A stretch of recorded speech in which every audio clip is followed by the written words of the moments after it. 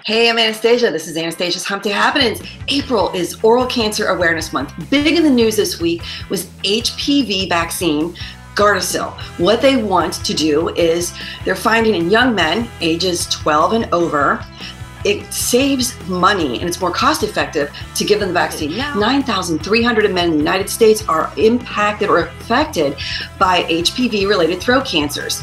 And it's four times more likely to happen to men than women. And let's just add more icing on the cake, shall we? Men between the ages of 40 and 50. HPV can last in your system for years and years and years. So, what they're suggesting is, you know, to start vaccinating with Gardasil by the ages of 12.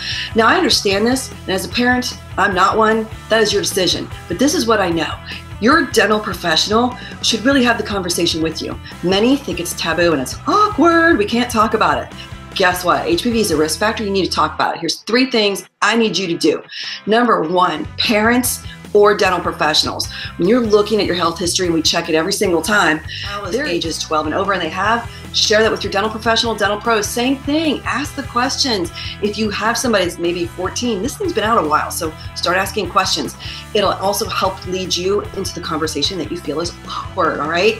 Number two, you need to know where are HPV related throat cancers. They are usually on the back or base of your tongue going into your throat and your tonsil area. Number three, and finally, You've got to have an oral cancer screening at least once a year. And I'm talking technology. It's a light that really excites the cells, and we can see if there's any changes going on.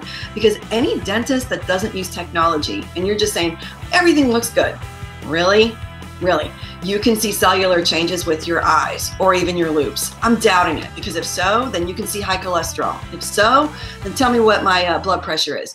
You really need to have this technology. That's what it's there for. It's all about prevention and information. So that saves lives. Now you got a question for me? Ask it. Hashtag Ask Anastasia. Otherwise, till next Wednesday, take what you learn and make a difference with it.